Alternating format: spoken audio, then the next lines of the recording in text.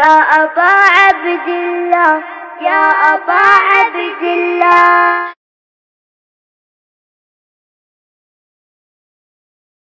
إن الله وملائكته يصلون على النبي يا أيها الذين آمنوا صلوا عليه وسلموا تسليما.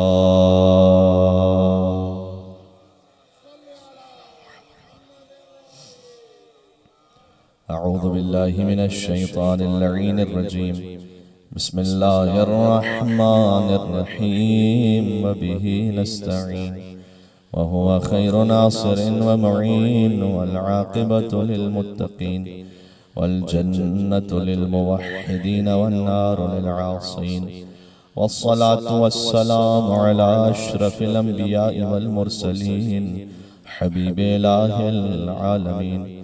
العبد المرتضى والنبي المجتبى والرسول المصطفى سيدنا ونبينا وشفيع ذنوبنا وطبيب نفوسنا ومولانا بالقاسم محمد.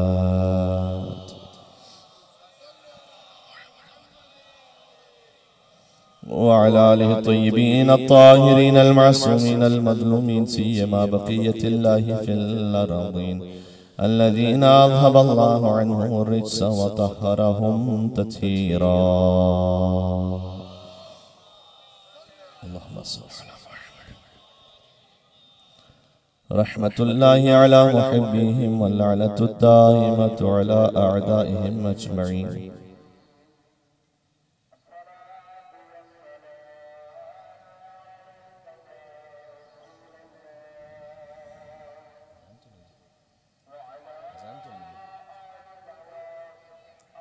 سلوات بھی دیجیے گا محمد و علی محمد۔ اللہم صلی علی محمد و علی محمد۔ محمد۔ دعا امام زمان عجل اللہ تعالی فرد عشر بسم اللہ الرحمن الرحیم۔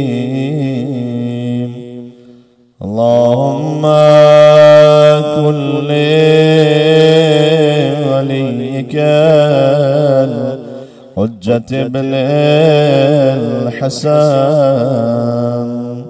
صلواتك عليه وعلى آبائه في هذه الساعة وفي كل ساعة وليا وحافظا وقائدا وناصرا ودليلا وعينا حتى تسكنه أرضك توعا وتمتعه فيها طويلا. صلوات بر محمد وآل محمد.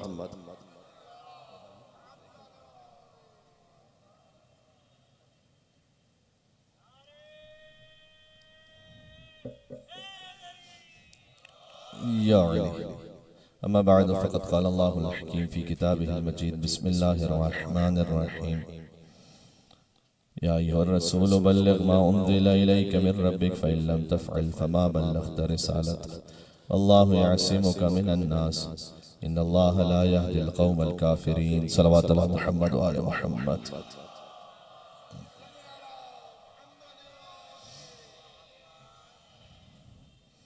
سورہ معاہدہ کی آیت نمبر سڑسٹھ کی ذیل میں غدیر اور کربلا کے موضوع پر گزارشات پیش ہو رہی تھیں اور آیت کا ترجمہ میں تبرکن دہرا دیتا ہوں کہ رسول پہنچا دیجیے اس پیغام کو کہ جو پہلے ہی آپ کے رب کی جانب سے نازل ہو چکا ہے۔ فَإِن لَمْ تَفْعِلْ فَمَا بَلَّغْتَ رِسَالَتَ اگر آپ نے وہ پیغام نہ پہنچایا تو رسالت کا کوئی کام ہی انجام نہ دیا۔ واللہ یعصمک من الناس اللہ آپ کو انسانوں کے شر سے محفوظ رکھے گا۔ ان اللہ لا یهد القوم الکافرین۔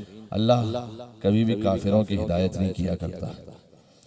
اور جب یہ آیت نازل ہوئی تو روایات اور صحیح تاریخ کے مطابق سرکار خطری مرتبت نے علی مرتضیٰ کو اپنے شانوں پر بلند کیا اور ان کی ولایت کا اعلان فرمایا۔ اچھا اس وقت جو کیفیت ہے، جو سٹنگ ارینجمنٹ ہے، اس میں یہ کہ میں تھوڑا سا آپ سے فاصلے زمانی پر ہوں، مکانی پر ہوں، تو آپ کچھ کہتے رہیں گے تو مجھے سمجھ میں آئے گا کہ بات پہنچ رہی ہے۔ کیونکہ جب خطیب جب قریب ہوتا ہے تو پھر بات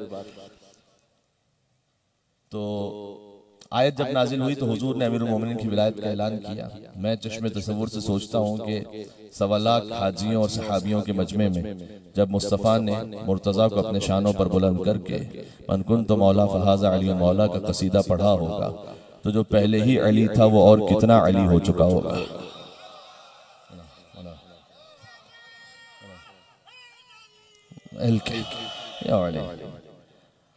اور کل بات یہاں تک پہنچی تھی۔ اس ولایت کے سلسلے میں کہ امام علی نقی علیہ السلام نے زیارت روز عید غدیر میں ارشاد فرمایا۔ مولا کے نام پر ایک مل کے صلوات اور بیجے گا۔ محمد و آل محمد پر۔ اللہم صلی اللہ علی محمد و آل محمد۔ کہ ان شاک فی کا ما آمن بالرسول۔ اے علی مرتضی جو آپ میں شک کرنے والا ہے وہ رسول اللہ پر ایمان ہی نہیں لے کر آیا۔ کل یہاں بات پہنچی تھی۔ اور آگے فرمایا کہ لعن اللہ جاہد ولایت کا بعد الاقرار۔ اور خدا لعنت کرے اس پر کہ جس نے آپ کی ولایت کے اقرار کے بعد انکار کر دیا۔ اچھا لعنت کی خوبصورتی یہ ہے کہ ایڈریس نہ بھی بتاؤ تب بھی گھر تک پہنچ کے آتی ہے۔ یہ جملہ پہنچ گیا۔ اور آگے وہ جملہ جو کل نہیں آ سکا تھا، وہ یہ کہ امام نے فرمایا کہ اے علی مرتضی، آپ کا اقرار نہ کرنے والا، یہ جملہ یوں بدل دو کیونکہ امام علیہ السلام نے جو اصل جملہ کہا کہ آپ کا انکار کرنے والا، در حقیقت اس نے خدا کا اقرار ہی نہیں کیا۔ اللہ اکبر یعنی یہ یہ وہ باتیں ہیں کہ جو شاعری نہیں ہیں، یہ وہ باتیں جو خیال پردازی نہیں ہیں، یہ وہ باتیں جو کلام امام کے مطابق ہیں۔ اور اس خاطر ہے کہ امام علی ابن موسیٰ رضا علیہ السلام کی بڑی خوبصورت تعبیر ہے۔ اللہم صلی اللہ محمد و آل محمد. امام رضا علیہ السلام کی خوبصورت تعبیر ہے، انہوں نے عید غدیر کے موقع پر ایک پورا خطبہ ارشاد فرمایا تھا، جس کا جملہ خطبہ کبھی اور سکے گا تو عرض کروں گا، چونکہ اس میں امام نے یوں آغاز کیا کہ اذا کانا یوم القیامہ زفت اربعت و ایام اللہ تعالی کما زفت العروض الہ بیت خدر.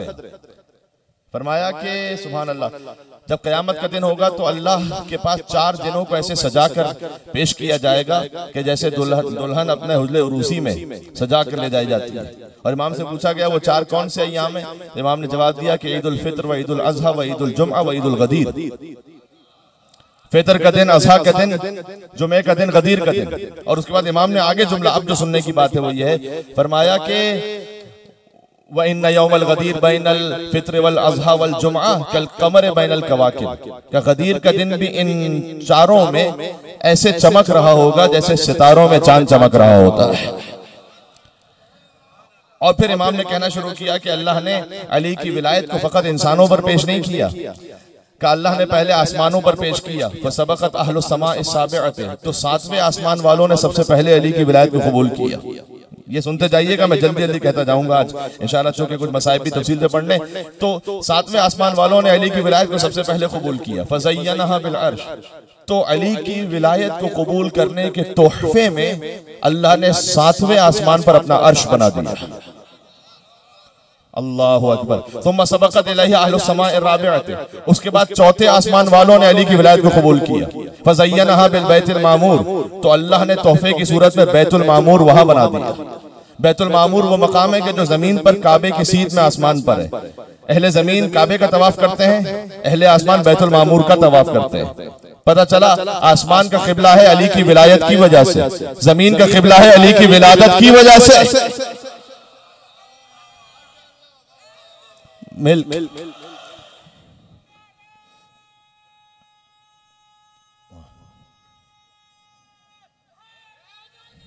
ملک جو اصل جملہ ہے وہ مجھے کہنا ہے آگے ابھی تو زبان پر خطبہ آگے تو میں نے کہا کچھ سنا دوں اور بہت کچھ ایسا ہے کہ جو اب اس میں رہ کبھی اور انشاءاللہ آپ کی خدمت میں سب سے پہلے کس نے قبول کیا ساتویں آسمان نے اللہ نے عرش وہاں بنایا پھر چوتھے آسمان نے اللہ نے بیت المامور وہاں بنایا ثم سبقت الیہ اہل السماء الدنیا۔ اس کے بعد اس دنیا کے آسمان نے، پہلے آسمان نے علی کی ولایت کو قبول کیا۔ فزینہا بالکواکب، تو اللہ نے ستاروں سے اس آسمان کو مزین کر دیا۔ اب جب رات کے وقت ستارے دیکھنا نا آسمانوں پر، تو سمجھ جانا کہ یہ علی کی ولایت کا صدقہ ہے۔ اللہ اکبر۔ اور پھر آگے میں امام رضا علیہ السلام کا جو جملہ ہے وہ پہنچا دوں امام نے کہا پھر اللہ نے زمینوں پر پیش کیا علی کی ولایت کو۔ تو سب سے پہلے مکہ کی سرزمین نے قبول کیا۔ اللہ نے اپنا حرم وہاں بنا دیا۔ پھر مدینہ کی سرزمین پر قبول کیا کہ رسول اللہ کا حرم وہاں بنا دیا۔ پھر کوفہ کی سرزمین نے قبول کیا، علی کا حرم وہاں بنا دیا۔ پھر پہاڑوں پر پیش کیا تو سب سے پہلے عقیق کے پہاڑ نے علی کی ولایت کو قبول کیا۔ لہذا اللہ نے جو ایک پتھر تھا، اسے مومن کے ہاتھ کی زینت بنا کر شریعت میں مستحب قرار دے دیا۔ کیوں؟ اس لیے کہ عقیق جانتے ہیں کیوں پہنتے ہیں؟ اس خاطر ہے کہ عقیق نے سب سے پہلے امیر المومنین کا کلمہ پڑھا، پتھروں میں۔ پھر فیروزے نے قبول کیا۔ پھر کہا بقیہ جن جن پہاڑوں نے علی کی ولایت کو قبول کرتے چلے گئے، اللہ انہیں سونے اور چاندی کے کانوں سے مزین کرتا گیا۔ پھر آگے فرمایا کہ جس پانی نے قبول کیا، اللہ نے اسے میٹھا بنا دیا۔ جس پانی نے رد کیا، اللہ نے اسے نمکین اور کھارا بنا دیا۔ جس پھل نے قبول کیا، اللہ نے اسے میٹھا بنا دیا۔ ہے میرے ساتھ یا نہیں ہے؟ جس پھل نے قبول نہیں کیا اب میں کیا روایت ارز کروں؟ کمبر موجود تھے امیر المومنین کے سامنے اور کچھ خربوزے رکھے ہوئے تھے۔ کمبر نے پہلا خربوزہ کاٹا کھانے کی کوشش کی کڑوا تھا۔ دوسرا خربوزہ کاٹا پھر کھانے کی کوشش کی کڑوا تھا۔ تیسرا خربوزہ کاٹا پھر کھانے کی کوشش کی کڑوا تھا۔ اب روایت میں یہ تین ہے میں کیا کروں آگے اس سے زیادہ؟ اور جب چوتھا پتہ نہیں کتنا مجمع پہنچا کتنا نہیں پہنچا۔ جو چوتھا خربوزہ کھاٹا تھا وہ میٹھا تھا۔ اور کمبر جب اسے کھانے لگے، کہتے ہیں، مولا، مجھے تعجب ہو رہا ہے، یہ ایک ہی کھیت، ایک ہی درخت، ایک ہی جگہ کے ہیں، ایک ہی طرح کی دھوپ، ایک ہی طرح کا پانی، ایک ہی طرح کی غذا، یہ کچھ کڑوے ہو گئے، کچھ میٹھے کیوں ہو گئے؟ مولا نے کہا کہ جو کڑوے رہ گئے، انہوں نے میری ولایت انکار کر دیا۔ اللہ نے ان سے ان کی مٹھاس کو واپس لے لیا۔ جو میٹھا تھا، اس نے میری ولایت کا اقرار کیا۔ یعنی کیا؟ اس نے اپنی زبان میں کہا، علی ولی اللہ۔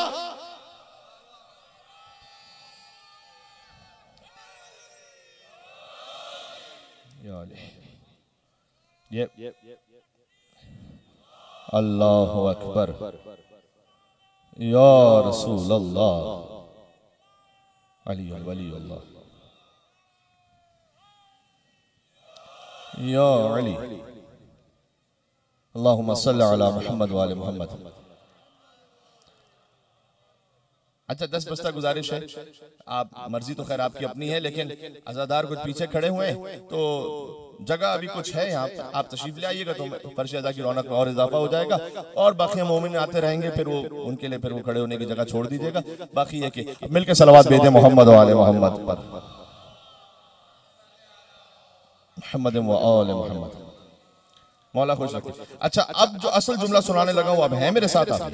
یہ میں مولا رضا کا خطبہ سنا رہا ہوں آپ کو۔ میں نے عرض کیا کہ میں کوئی خیال پردازی نہیں کر رہا۔ پھر مولا رضا علیہ السلام نے آگے کہا کہ مسا یہ اس جملے سے ریلیٹ ہے کہ جو امام علی نقی علیہ السلام نے کہا تھا یہ سب ایک ہی نور ہے نا۔ تو ان کا کلام بھی تو ملتا جلتا ہے نا۔ ان کے کلام میں تو کوئی فرق نہیں ہے نا۔ جو پہلے نے کہا وہی درمیان نے کہا وہی آخر نے کہا۔ یہی تو مطلب ہے اولونا محمد اوسطنا محمد۔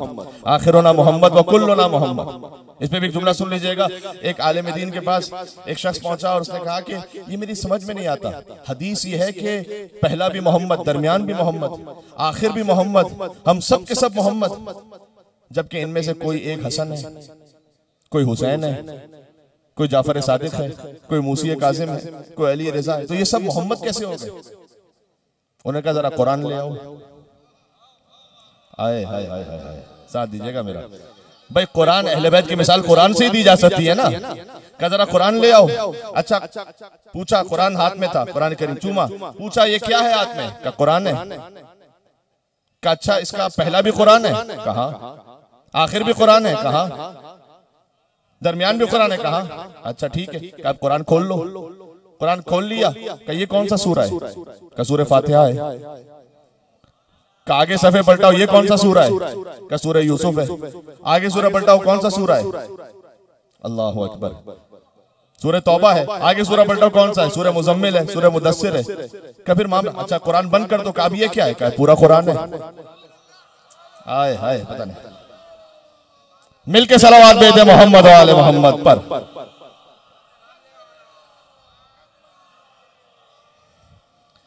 کہتے ہیں اہل بیت کی مثال قرآن کی سی ہے۔ اگر الگ الگ دیکھتے جاؤ، کوئی حسن ہے، کوئی حسین ہے، کوئی جعفر صادق ہے، کوئی علی رضا ہے، کوئی محمد تقی جواد ہے، کوئی علی نقی ہے، کہ سب ایک ساتھ دیکھ لو، پہلا بھی محمد ہے، درمیان بھی محمد ہے، آخر بھی محمد ہے، سب کے سب محمد ہے۔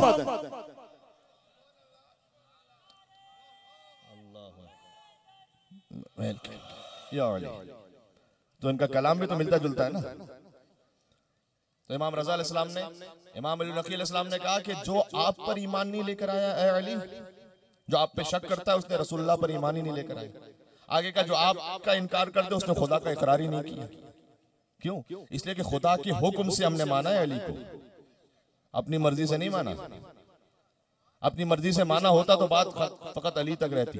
لیکن چونکہ خدا کے حکم سے ہے تو علی کا انکار اب حکم دینے والے کا انکار ہے جیسے آپ اگر کہیں کسی جگہ پر سفیر کی توہین ہو جائے تو وہ سفیر کی توہین نہیں ہوتی، پورے ملک کی توہین ہوتی ہے۔ احادیث کا مفہوم یہ ہے کہ آئیم علیہ السلام نے فرمایا، ہم اللہ کے سفیر ہیں۔ سفیر کی توہین، سفیر کو نہ ماننا، اللہ کو نہ ماننا۔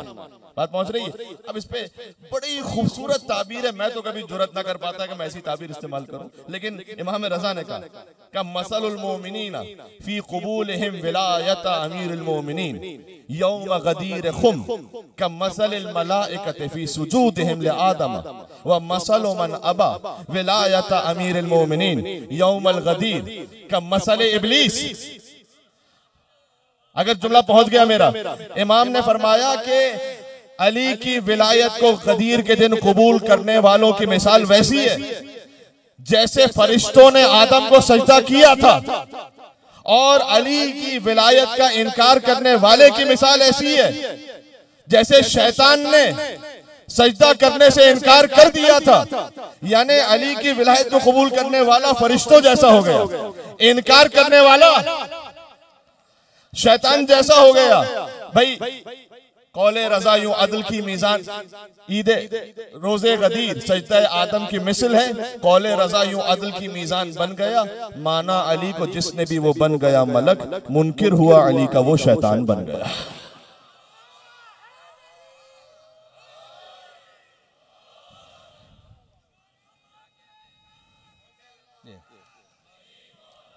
علی۔ مل کے بولے علی ماں۔ یا علی مدد حق ہے در بات پہنچ رہی ہے یہ اتنا اہم میسج ہے اس کو معمولی نہ سمجھئے گا ہاں اس خاطر ہے اب میں ایک کے بعد ایک حدیث آج اب خدمت میں پیش کرتا چلا جا رہا ہوں امام کا کلام ہوتا ہے تو اس سارے کلاموں کا امام ہوتا ہے جو امام کا کلام ہے نا وہ سارے کلاموں کا امام ہے تو اپنی جانب سے پیش کرنے کے بجائے جو امام کا کلام ہے وہ ہو ابن اساکر اہل سنت کے بڑے عالم میں بہت دور تک آواز جا رہی ہے اور اہل علم جانتے ہیں ان کا کتنا بڑا مقام ہے۔ اور اہل سنت نے قبول کرتے ہیں۔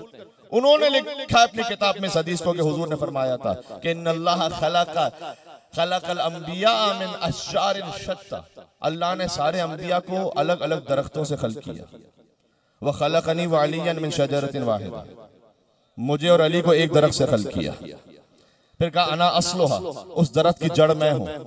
وعلی فرعوہا اس کی شاخیں علی ابن ابی طالب ہیں۔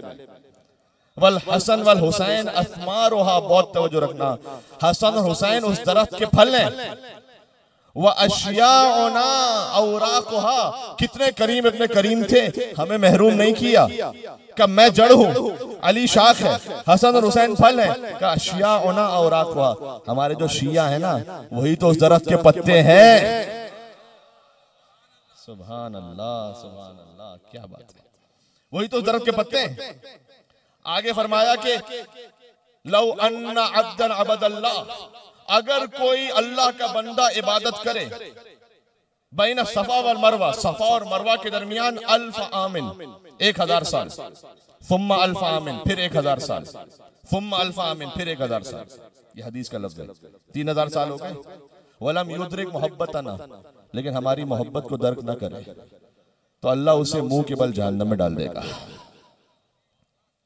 بس عزیزوں، یہ آج کی حد تک میں اسٹیبلش کرنا چاہ رہا تھا کہ جب تک یہ ولایت نہ ہو، اس وقت تک اس کو ایک مل کے سلوات بھیجے گا محمد و آل محمد پر۔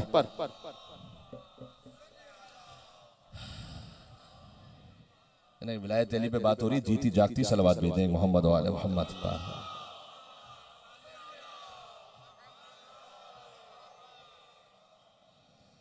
اچھا اب کل رات کی ایک مجلس میں میں کچھ گزارشات کر رہا تھا، اس کو بھی ریلیٹ کر دوں یہاں سے بڑی اہم باتیں تھیں۔ کہ اب قرآن کی آیت ہے، وَيَقُولُ الَّذِينَ كَفَرُوا لَسْتَ مُرْسَلًا قُلْ كَفَى بِاللَّهِ شَهِيدًا بَيْنِي وَبَيْنَكُمْ وَمَنْ عِنْدَهُ عِلْمُ الْكِتَابِ۔ اے رسول، یہ کافر کہتے ہیں کہ سورہ رات کی آخری آیت ہے۔ کافر کہتے ہیں کہ آپ رسول ہیں نہیں۔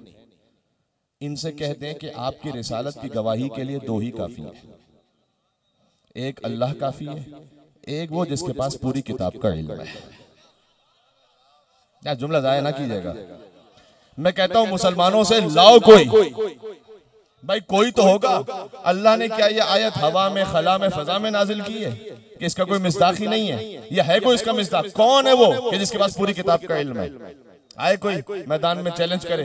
میں آپ سے پوری طالب علمانہ ذمہ داری سے کہہ رہا ہوں، کسی بھی محترم صحابی نے یہ آ کر نہیں کہا۔ یہ آ کر نہیں کہا کہ میں وہ ہوں جس کے پاس پوری کتاب کا علم یہ چیلنج کرنا بڑا مشکل تھا۔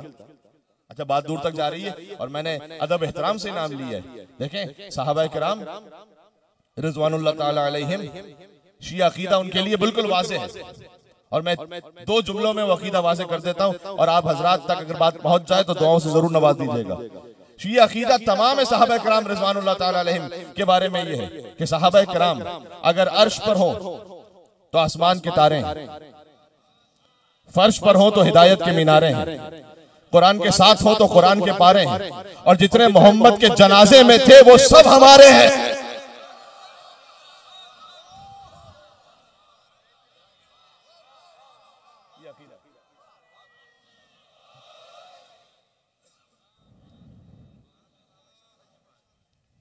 یہ بات پہنچ گئی اب تک۔ ہاں تو اظہار کر دیجیے گا ایک امیر المومنین کا نعرہ لگا کر۔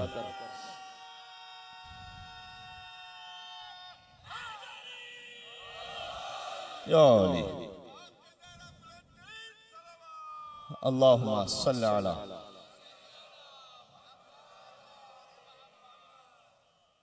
بات پہنچ گئی؟ تو جو میں بات عرض کر رہا تھا کوئی بھی محترم صحابی رضی اللہ تعالیٰ عنہ۔ کسی نے بھی آ کر یہ نہیں کہا کہ میں وہ ہوں کہ وَمَنْ عِنْدَهُ علم الكتاب، میرے پاس پوری کتاب کا علم ہے۔ اچھا جب علی سے پوچھا گیا کہ آپ کی سب سے بڑی فضیلت کون سی ہے؟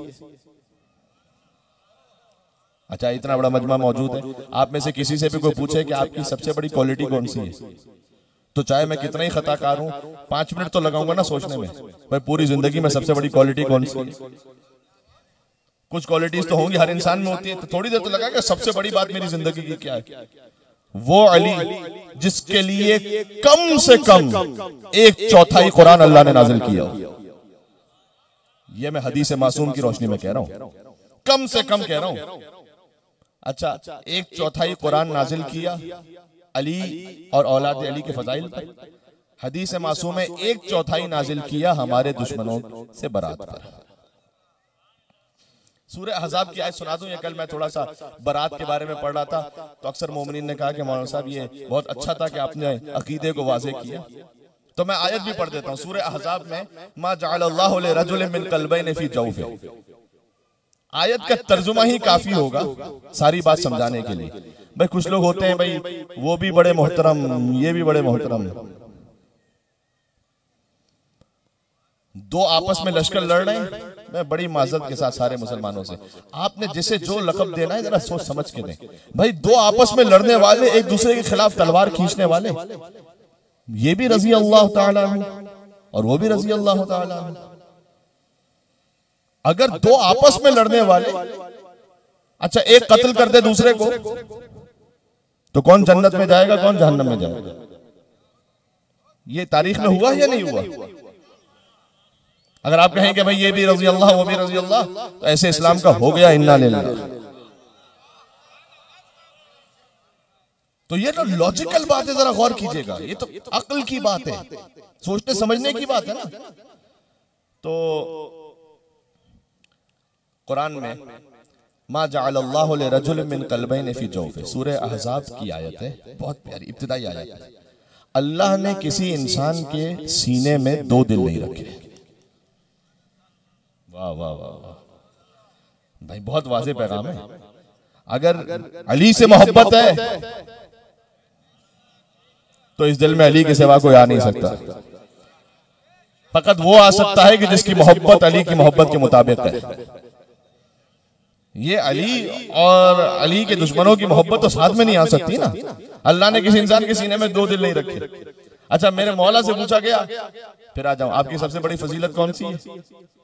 جس کے لیے اتنی آیتیں نازل ہوئی ہیں۔ ایک چوتھائی کا مطلب جانتے ہیں کتنا؟ قرآن میں کتنی آیتیں ہیں؟ ساڑھے چھ ہزار سے اوپر۔ ایک چوتھائی دیکھ لیجیے گا کتنا بنا۔ ڈیڑھ ہزار۔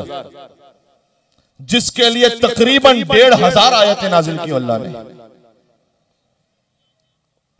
جیسے ہی سوال ہوا فوراً کا میری سب سے بڑی فضیلت یہ ہے کہ یقول الذین کفروا لست مرسلا قل کفا باللہ شہیدا بینی و بینکم ومن عنده علم الکتاب میری سب سے بڑی فضیلت یہ ہے کہ اللہ نے رسالت محمد کی گواہی میں۔ آئے ہائے ہائے مجھے اپنے ساتھ شریک رکھا ہے۔ گویا میں کہنا یہ چاہ رہا ہوں کہ جو وحدہ لا شریک ہے اس نے بھی محمد کی گواہی میں علی کو شریک رکھا ہے اللہ اکبر کا دو گواہ اچھا اللہ کی توحید کے بھی دو گواہ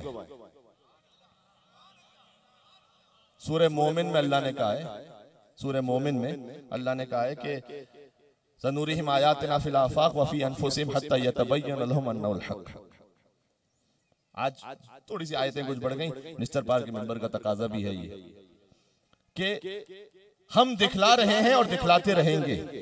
اپنی نشانیوں کو، آفاق کائنات میں، وفی انفسہم، ان کے نفسوں میں۔ حتی یتبین لہم انہو الحق۔ یہاں تک کہ انہیں یقین ہو جائے گا کہ حق سوائے خدا کے اور کوئی نہیں ہے۔ اللہ کی توحید پر ایک ایک کائنات گواہ۔ اور ان کائنات سے بڑھ کر اللہ کی توحید پر جو سب سے بڑے گواہ ہیں، وہ ہے محمد مصطفیٰ۔ صلی اللہ علیہ وآلہ وسلم فرمایا اول ما خلق اللہ نوری اللہم صلی علی محمد وآلہ محمد. اللہ نے سب سے پہلے میرے نور کو خلق کیا۔ اے میرے ساتھ تو سب سے پہلے حضور کا نور ہے وہ گواہ ہے۔ اس کے بعد کائنات گواہ ہے۔ تمام انبیاء کے گواہ کون ہیں؟ یہ گواہوں کی بات سن لیجیے گا ذرا بڑی اہم ہے۔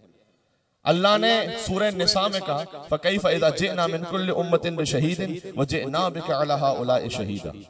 اس وقت کیا کیفیت ہوگی جب ہم ہر امت کو اس کے نبی کے ساتھ گواہ بنا کر لائیں گے؟ اور اے رسول آپ کو انبیاء پر گواہ بنا کے لائیں گے؟ شان محمد مصطفیٰ واضح ہو جائے تو پھر میں پھر جاتا ہوں مولا کائنات کی طرح یعنی قرآن کی روح سے جتنا فرق امتوں میں اور انبیاء میں ہے اتنا ہی فرق انبیاء میں اور محمد مصطفیٰ میں بولتے رہیے گا میرے ساتھ، ٹھیک ہے؟ اچھا روایات میں لکھا ہوا ہے، اس طرح سے تعبیر ہے علماء کرام کی، کہ حضور مقام محمود پر تشریف فرماؤں گے۔ ہر نبی اپنی امت کے ساتھ آئیں گے اور ہر نبی اپنی امت پر گواہی دیں گے۔ کون اچھا تھا کون برا تھا؟ حضرت آدم اپنی امت پر حضرت نوح علیہ السلام اپنی امت پر حضرت ابراہیم حضرت موسیٰ حضرت عیسیٰ تمام انبیاء اپنی اپنی امتوں پر گواہی دیں گے۔ اور جب تمام انبیاء کے کارکردگی پر گواہی کی باری آئے گی کہ آدم نے کیسے تبلیغ کی؟ حضرت نوح نے کیسے تبلیغ کی؟ تو ان کے پاس گواہ کون ہوگا؟ اللہ پوچھے گا آپ کے پاس کوئی گواہ ہے؟ تو وہ جائیں گے مقام محمود پر محمد مصطفیٰ کے پاس۔ اللہ اکبر۔ یار، ٹھیک ہے۔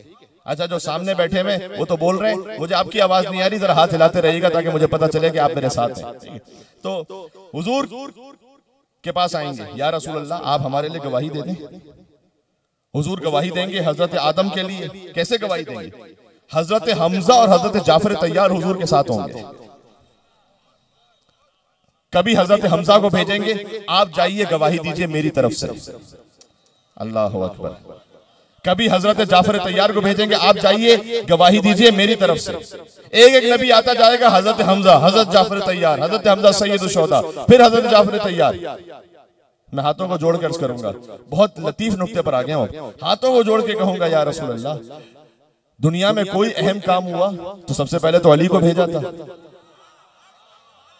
ہجرت پر علی ہے، بدر میں علی ہے عہد میں علی ہے، خندق میں علی ہے، خیبر میں علی ہے۔ یہ جو اتنا اہم موقع قیامت کا، تو علی کو نہیں بھیج رہے۔ کبھی حضرت حمزہ کو بھیج رہے ہیں۔ بہت بڑا مقام ہے ان کا۔ لیکن علی ابن ابی طالب کا مقام تو کچھ اور ہے تو کبھی حضرت جعفر تیار کو بھیج رہے ہیں۔ بھائی، علی کہاں ہے؟ علی علی کہاں ہے؟ آدم سے عیسیٰ تک آپ نے اپنی جانب سے گواہیوں کے لیے کبھی حضرت حمزہ کو بھیجا؟ بہت توجہ رکھیے گا۔ کبھی حضرت جعفر تیار کو بھیجا؟ تو علی کہاں ہے؟ وہ حضور کا جواب یہ ہوگا کہ یہ تو بقیہ انبیاء کی گواہوں کی باری ہے نا۔ جب میرے گواہ کی باری آئے گی۔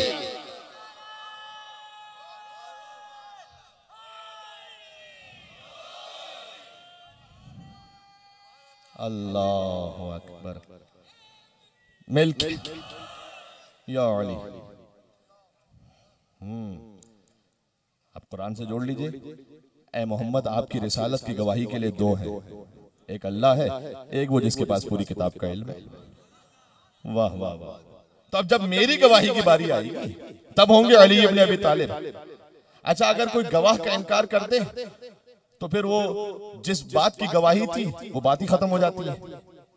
اسی خاطر تھا کہ حضور سارے انبیاء کے گواہ ہیں۔ اللہ نے کہا سارے انبیاء سے کہ محمد مصطفیٰ کی نبوت کو ماننا۔ اس لیے کہ اگر انہیں نہ مانا تو تمہاری گواہی گئی تو علی ہیں حضور کے گواہ۔ اسی لیے تو کہا تھا اگر یہ نہ پہنچایا۔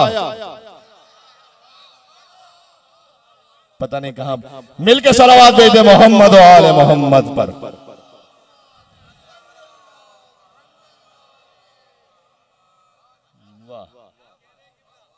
آیت کو آیت سے جوڑتے چلے جائیے گا، بات بات ہو جائے گی۔ اچھا ایک ایک مرحلہ رہ گیا فقط، اور میں آ جاؤں گا منظر مسائب پر، اور کچھ اپنے ذاتی اشعار اس فقیر نے جو کہیں وہ آپ کو سناؤں گا انشاءاللہ سے۔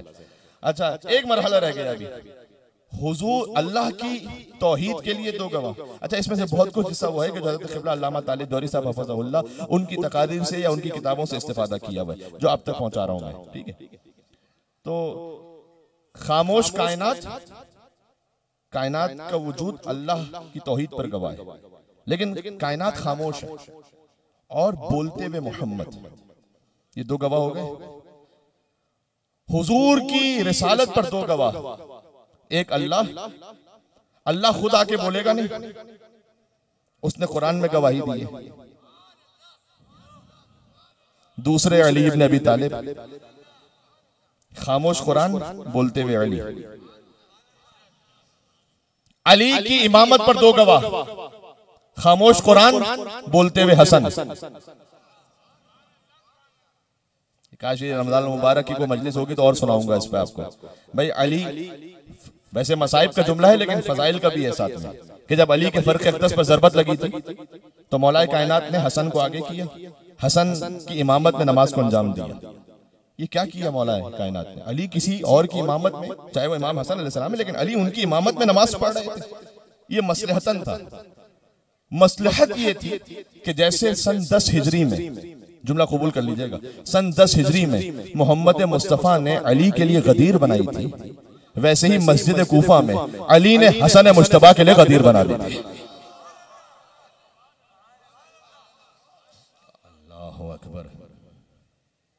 علی جس کا معموم بن جائے، وہ کیسا امام ہوگا حسن مشتبہ کی امامت کے دو گواہ۔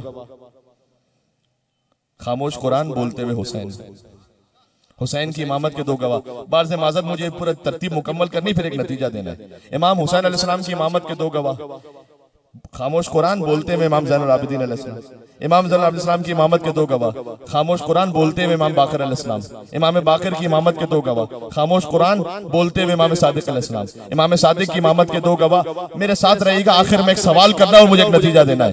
دو گواہ، خاموش قرآن بولتے ہوئے امام کاظم علیہ السلام۔ امام کاظم کی امامت کے دو گواہ۔ خاموش قرآن بولتے ہوئے امام رضا علیہ السلام۔ امام رضا علیہ السلام کی امامت کے دو گواہ۔ خاموش قرآن بولتے ہوئے امام محمد تقی علیہ السلام۔ امام تقی کی امامت کے دو گواہ۔ خاموش قرآن قرآن بولتے ہوئے امام علی نقی علیہ السلام۔ امام علی نقی علیہ السلام کی امامت کے دو گواہ۔ خاموش قرآن بولتے ہوئے امام حسن عسکری علیہ السلام۔ امام حسن عسکری علیہ السلام کی امامت کے دو گواہ۔ ولایت پر بات ہو رہی ہے۔ خاموش قرآن بولتے ہوئے امام زمانہ علیہ السلام۔ امام زمانہ علیہ السلام کی امامت کے گواہ۔ سوال ذہن میں آ گیا بھائی کہ اللہ کا اصول بدل گیا۔ نہیں، اصول بدلا نہیں۔ امام زمانہ کی امامت کے دو گواہ۔ خاموش قرآن۔ اسی خاطر تو ہے کہ عیسیٰ کو آسمانوں پر رکھا ہوا ہے۔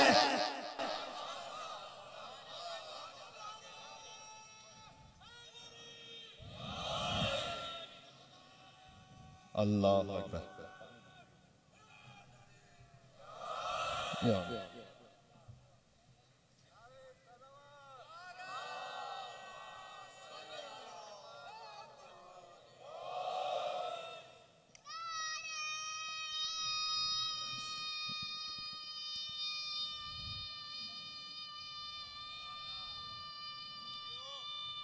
بچے کا نعرہ سب سے بہتر ہے بھائی۔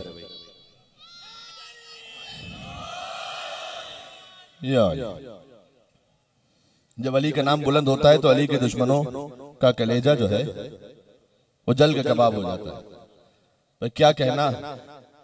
علی کی محبت رکھنے والے بچوں کا۔ اے حاکم شام، علی کی محبت رکھنے والے بچے۔ اس سے تمہارے بوڑھے جو ہیں وہ ذلیل ہو رہے ہیں۔ بھئی یہ جملہ پہنچ گیا۔ مل کے صلوات بیدے محمد و آل محمد پر۔ حضرت عیسیٰ کا سر ہوگا۔ سبحان اللہ۔ مریم اب جملہ بدلنے لگا ہوں اور آپ تک بات پہنچانے لگا ہوں۔ یعنی مریم کے بیٹے کا سر ہوگا۔ فاطمہ کے بیٹے کے قدموں میں۔ اچھا یہ پورا سلسلہ میں نے سنا دیا۔ اب سیدہ کونین کل بھی سوال کیا تھا میں نے۔ اب اس پورے سلسلے میں سارے گواہیوں میں سیدہ کونین کا معاملہ؟ خود حضرت حجت سے پوچھ لیں۔ کہتے ہیں، نحن حجت اللہ علی الخلق و حجتنا و جدتنا فاطمہ۔ حجت اللہ علینا۔ کہ ہم سب، یہ سارے گواہ، ہم سب حجت اللہ کی مخلوق پر۔ اور ہماری جدہ سیدہ، وہ حجت ہم اماموں پر۔ اللہ اکبر۔ یہ امام کی حدیث ہے کہ سیدہ حجت ہے ہم پر۔ ہے جبی عیسیٰ کی اب جو اپنے اشار تھے وہ تھوڑے سنا رہا ہوں اور بات ختم کرنے لگا ہوں۔ قبول فرما لیجیے گا ہے جبی عیسیٰ کی خم مہدی کی عظمت کے لیے۔ یہ غریب کے اشار ہیں۔ اب تک پہنچ جائے تو دعا سے نواز دیجیے گا۔ ہے جبی عیسیٰ کی خم مہدی کی عظمت کے لیے۔ اور فاطمہ حجت ہے خود۔ سرکار حجت کے لیے۔ بھئی فاطمہ حجت ہے خود۔ سرکار ایک جملے میں انشاءاللہ پوری تاریخ سمٹ کے آ جائے گی۔ فاطمہ حجت ہے جبھی عیسیٰ کی خم مہدی کی عظمت کے لیے۔ فاطمہ حجت ہے خود۔ سرکار حجت کے لیے۔ اور بزم محمد مصطفیٰ میں ہر طرح کے لوگ تھے۔ بھئی بزم محمد مصطفیٰ میں ہر طرح کے لوگ تھے۔ کچھ تھے عزت کے لیے تو کچھ تھے لعنت کے لیے۔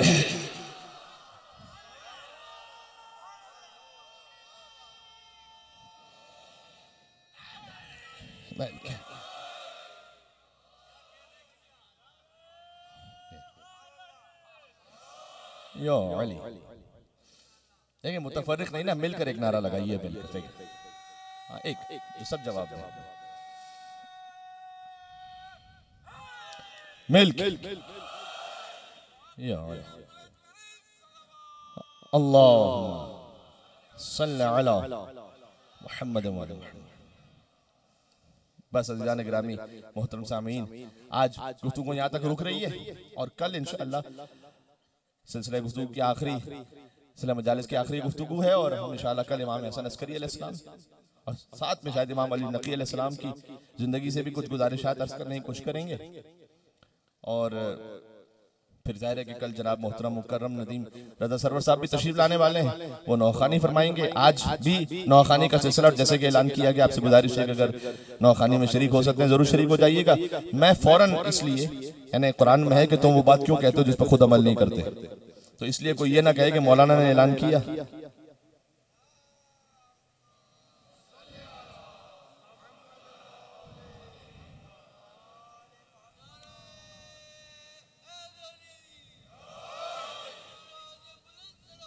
جی اللہم صلی علی محمد وعلی محمد.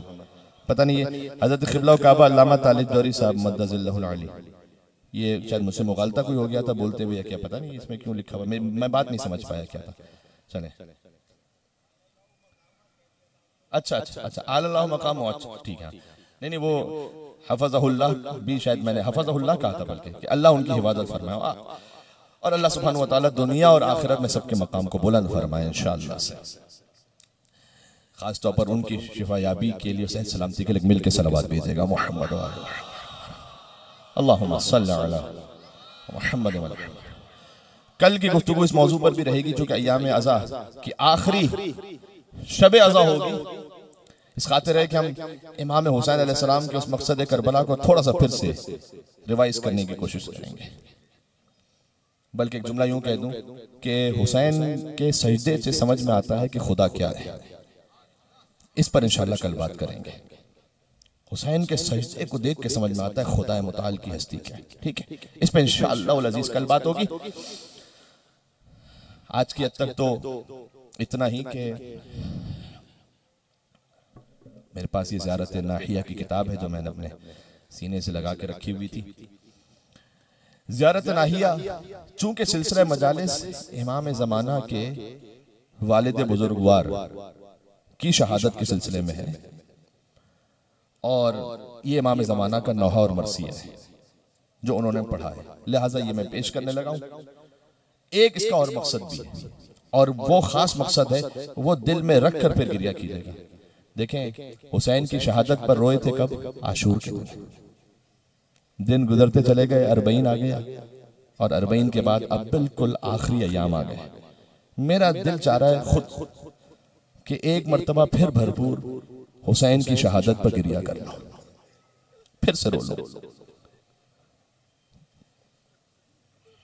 میں کیا کہوں عزیزان گرامی؟ یعنی حدیث میں امام صادق کے سامنے جب حسین کا نام آتا تھا، فقط محرم میں نہیں، سارا سال۔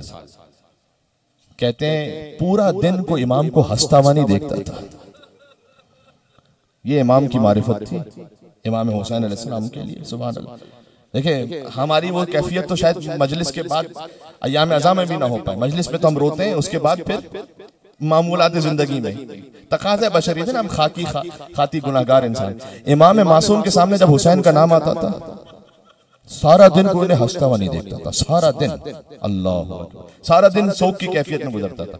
اچھا زیارت ناہیہ ہی میں ولایت علی موضوع ہے نا امام حسین کو مخاطب کرتے ہوئے کہتے ہیں کہ اے میرے جد حسین آپ پر سلام ہو۔ سلام اللہ سلام مخلص لولایتک اے حسین آپ پر سلام ہو۔ امام زمانہ کہہ رہے ہیں کہ میں آپ کی ولایت میں بہت مخلص ہوں۔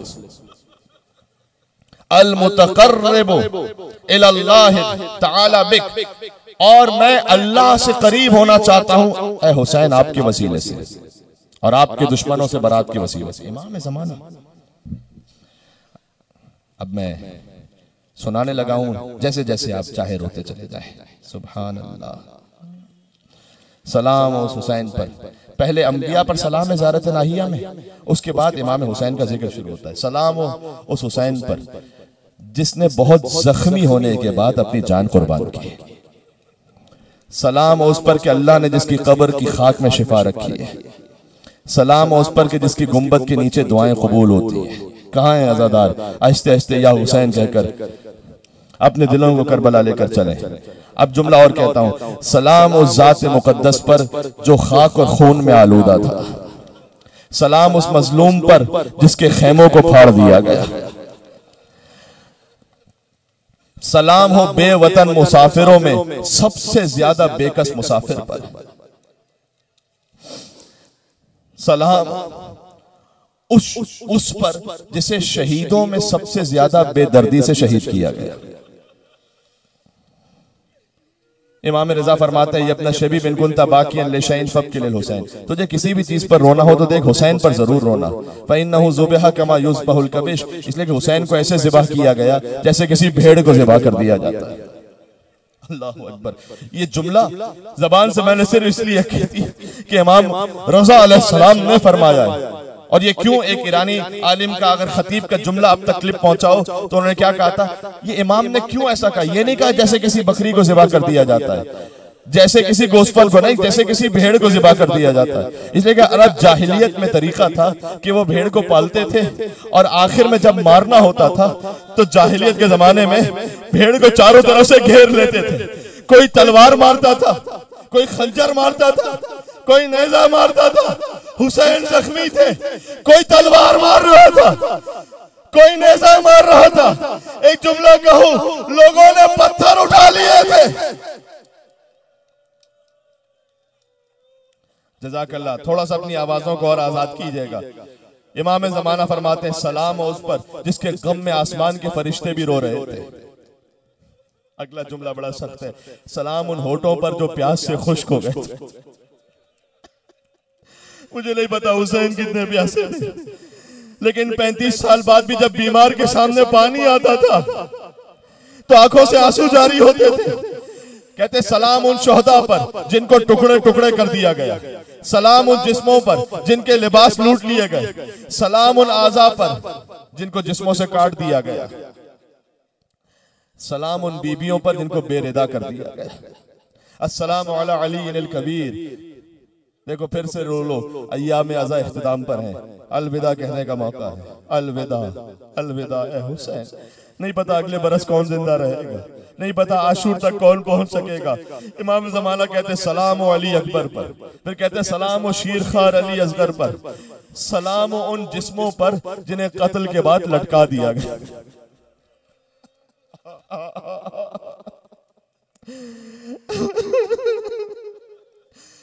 سلام ان پر جنہیں بغیر کفن کے دفن کر دیا گیا۔ اللہ اکبر۔ سلام اس پر جسے میکائیل گہوارے میں لوریاں سنایا کرتے تھے۔ اب جملہ کہوں، مرنے والے کو غسل دیا جاتا ہے نا۔ حسین کو کیسے غسل دیا گیا؟ کہتے ہیں، سلام اس پر جسے اس کے خون سے غسل دیا گیا۔ سلام اس پر جسے ہر طرف سے نیزے لگائے جا رہے تھے۔ امام زمانہ کا جملہ ہے۔ میرا دل تڑپ رہا ہے۔ سلام اس پر جس کی شہرک کو بے دردی سے کاٹ دیا۔ اچھا جب کسی کی شہرک کو کاٹ دیا جائے تو کیا ہوگا؟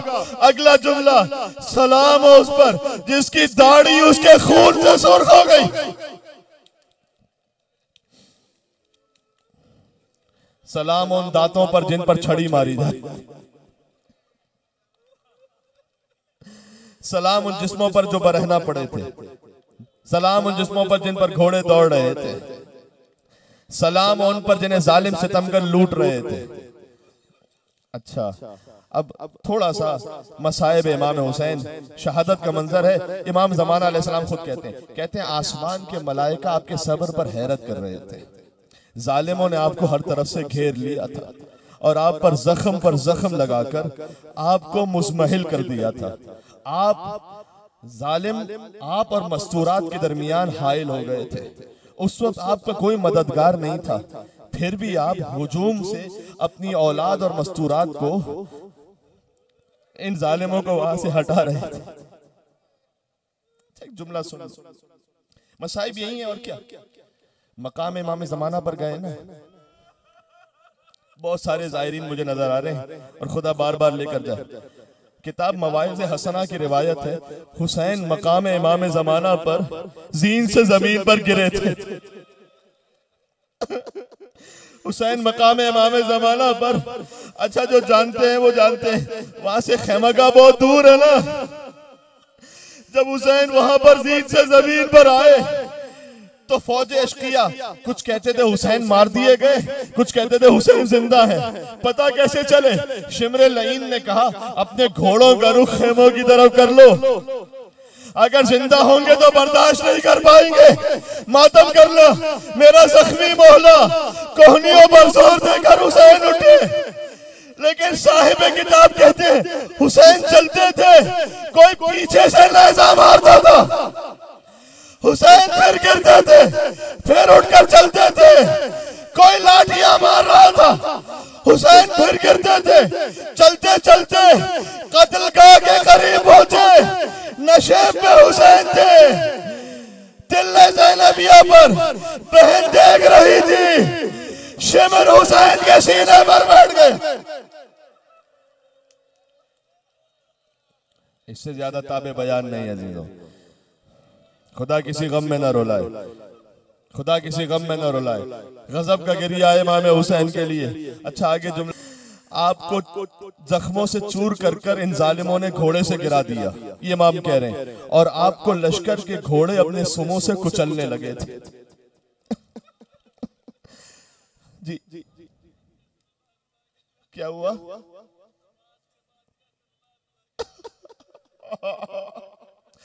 اچھا میں دار کا جملہ پڑھتا ہوں۔ کہتا ہے مولانا، عباس کے بعد حسین کو کیسے ظالموں نے رولا رولا کر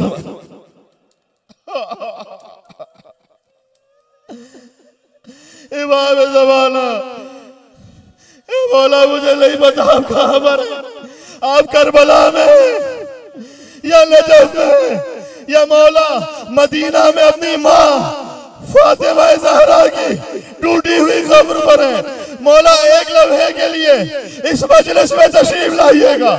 یا ہزاروں مومنین، آپ کے چٹ پر یا حسین کہہ کر رو رہے ہیں۔ مولا، میں آپ کا جملہ پڑھنے لگا ہوں۔ ظالم ستمگر اپنی تلواریں لیے آپ پر ٹوٹ پڑے تھے۔ آگے کہوں آگے کہوں، سینے میں دم نہیں رہا۔ آہستہ جملہ کہہ رہا ہوں، لیکن یہ جملہ بہت بھاری ہے۔ آپ کی پیشانی پر موت کا پسینہ آ چکا تھا۔ آپ اپنے ہاتھ پھیر کبھی پھیلا لیتے تھے، کبھی سمیٹ لیتے تھے۔ اور آپ نیم کھلی ہوئی آنکھوں سے اپنے بچوں کی طرح دیکھ رہے تھے۔ یعنی حسین اس وقت سکینہ کی طرح دیکھ رہے تھے۔ حسین جانتے تھے سکینہ یتیم ہو جائے گی۔ حسین جانتے تھے سکینہ کو تماچے لگنے کا وقت قریب آ گیا۔ پیٹنا سر کو پیٹنا چہرہ پیٹنا اللہ اکبر۔ کہ جب آپ کا زلجنا آپ کے بغیر خیموں کی طرف آیا تو بیبیاں بال بکھرائے یہ امام کا لفظ ہے چہروں پر تماچے مارتے ہوئے۔ نہیں، ابھی شہادت نہیں ہوئی۔ ابھی تو حسین کی شہادت سے پہلے یہ کچل رہے تھے حسین کو۔ پھر آگے کہتے ہیں وَشِمْرُ جَالِسُنْ عَلَى صَدْرِ۔ شمر حسین کے سینے پر بیٹھ بیٹھ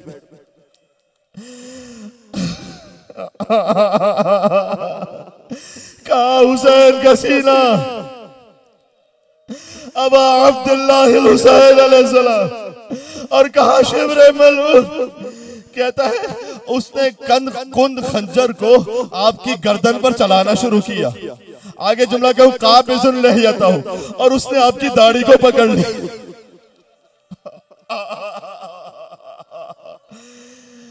آئے حسین! یہاں بیٹھے ہو، اپنے دل کو کربلا لے کر چلنا۔ میرے ساتھ مل کر کہنا، یا حسین! یا حسین یا حسین آخری جملہ کہہ رہا وہ خنجر چلا رہا تھا۔ آپ نے اپنے دستوں پر ساکن کر لیے تھے۔ آپ کی سانسیں رکنے لگی تھی آپ کا سر لو کے لیزہ پر بلند ہوا۔ کربلا میں صدا گونجی۔ علاقت قتل الحسین میں کربلا۔ علاقت قتل الحسین میں کربلا۔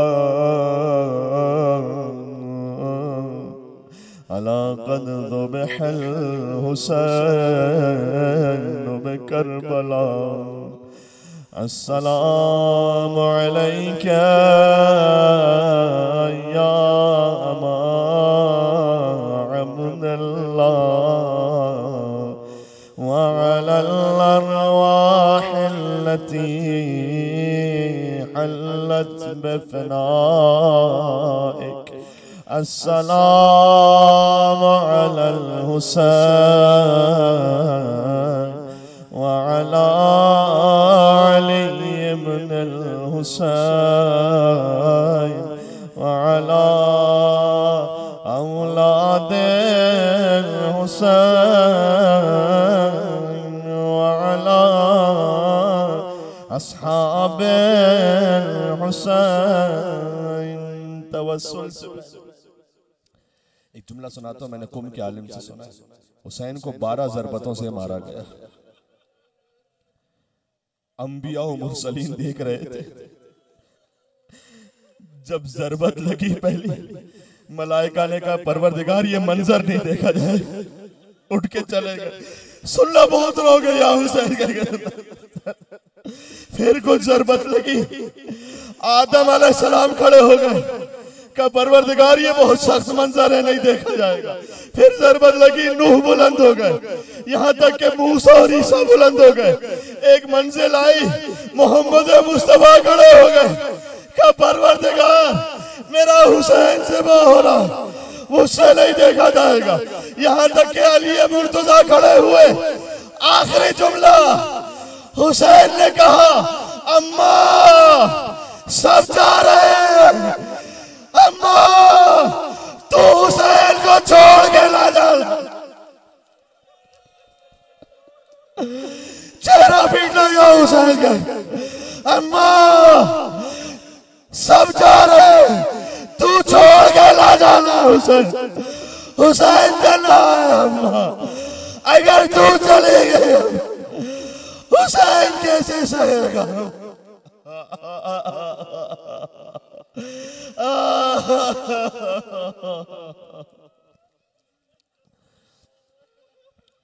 اب ذرا سوچو، ماں کی خدمت میں بچے کا وسیلہ پیش کیا کوئی ماں کیسے رد کر سکتے اور اگر ماں فاطمہ زہرا جیسی اور بیٹا حسین جیسا ہو اپنی اپنی خاص دعائیں۔ پھر میرے محترم بھائی ماتمداری کروائیں گے، سب مل کر کہنا یا امام اللہ، یا حسین ابن علی، ایوہ الشہید ابن رسول اللہ، یا حجت اللہ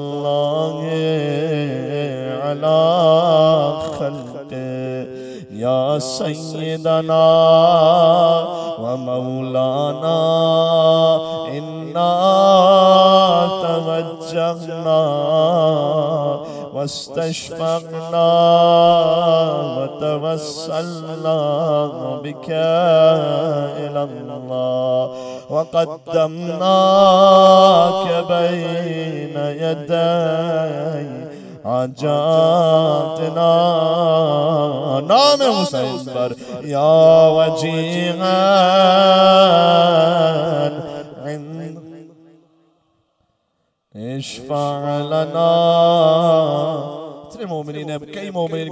کھڑے ہوئے مل کے کہہ دیں گے یا وجیغا عند اشفع لنا. آخری کہتے ہیں مجلس کی قبولیت کے لیے یا وجیغا عند اللہ اشفع لنا.